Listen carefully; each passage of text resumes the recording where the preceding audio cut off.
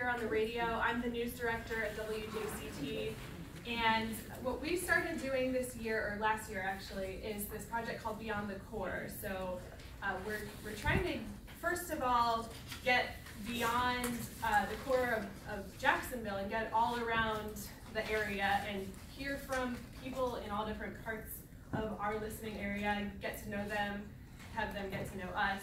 And the other part of why it's called Beyond the Core is that a lot of times people don't interact necessarily with people who are outside of their little neighborhoods, right? Or uh, outside of work or whatever, or school.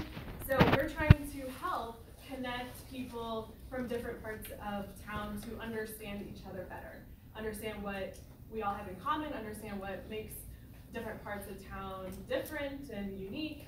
Um, so basically, it's just, I think what's really cool about working in news is that ability to help people understand each other better. So that's what this tonight is about, just to start the conversation, get it going, hear from you. Mostly we're just here to listen.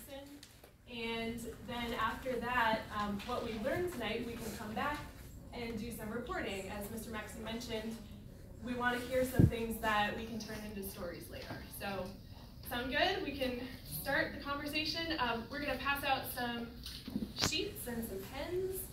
And um, the way that this is working is to uh, sort of divide up into smaller groups first. Um, so maybe groups of four or five to start the conversation, then we'll share with the larger group what you talked about in your smaller group. So, oh, I have some, I have some sheets already to work.